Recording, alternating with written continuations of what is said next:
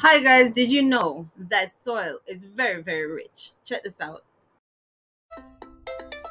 Hi everyone, your creative educator here, and welcome to Sparks to Flames Education, where you get great science, math, and reading content and really fun and creative ways of inspiring learning. Remember to subscribe, hit the notification so that you can see our new videos on Mondays. Like and share, and yes, subscribe now. You can find minerals in soil, but what are minerals? Minerals are like pure substances, pure elements and compound, and they have a specific chemistry, a specific chemical formula. So let's talk about minerals a little bit. Minerals are oftentimes found in rocks, and yes, they usually mine them. But how do they get into soils? Well, the answer is rocks transform over time. Let's take a look at the rock cycle. The rock cycle describes how rocks are formed and then how they're broken apart and how they're formed again. Let's look at this first type of rock made from magma. Magma is rock that is melted, but once it gets to the surface, it becomes lava. When the lava cools, it forms what is called an igneous rock. When the lava cools, it forms what is called an. But as time goes by, that rock can break apart the wind, the rain, tree roots, people moving, all of these things can break the rock down. This is called weathering. This process can take a long time. It's like chipping away at the rock with a hammer. When parts of the rock is broken down into tiny, tiny pieces, they become so small that they could be blown away by the wind, washed away by the water, and this process is called erosion. The broken pieces of rocks are eroded, but then they eventually settle somewhere at the bottom of lakes, at the bottom of rivers, and even in the ocean.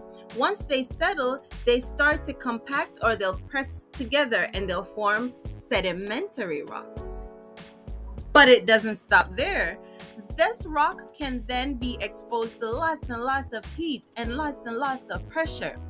And what forms can be these beautiful crystal structures that have lots and lots of minerals.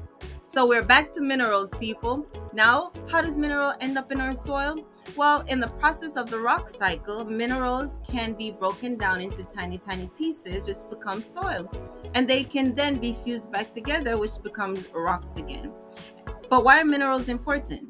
In this activity, we explore different minerals. We take a look at different rock samples and we use this chart to try to identify the type of rock. Is it an igneous rock, a sedimentary rock, or metamorphic rock? And then we take a look at the periodic table. The, this periodic table has a list of all the elements and we take a look at how these elements are found in our foods and what's the missing link.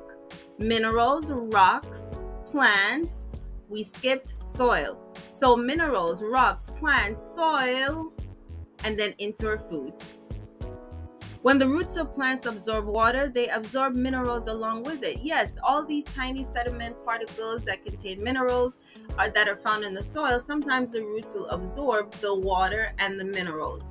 Now, the water and the mineral helps the plant to grow and be strong. And as the plant produces food, these minerals end up in the foods that we eat.